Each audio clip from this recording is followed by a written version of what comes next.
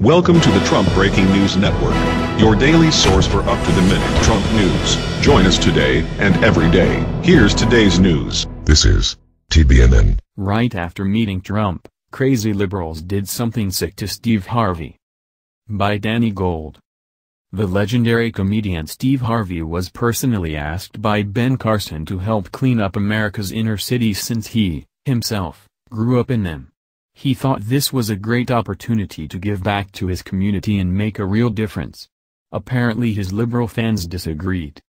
Harvey revealed on his radio show today that his so-called fans have been attacking him relentlessly since he met with Trump the other day and it really hurts him. On a personal note, a lot of y'all hurt me. I didn't expect the backlash to be so fierce. I also understand if I'm going to keep getting stabbed at, at least while you're stabbing me, you should understand my intent. Can understand where his is coming from.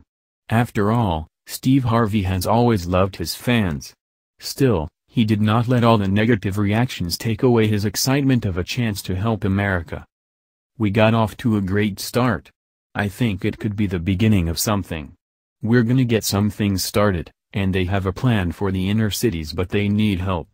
And so, that's why they called me. So we'll see what I can do. So all of us Americans who supported Donald Trump need to give Steve Harvey our support by sharing this out on Facebook and watching Family Feud every now and again.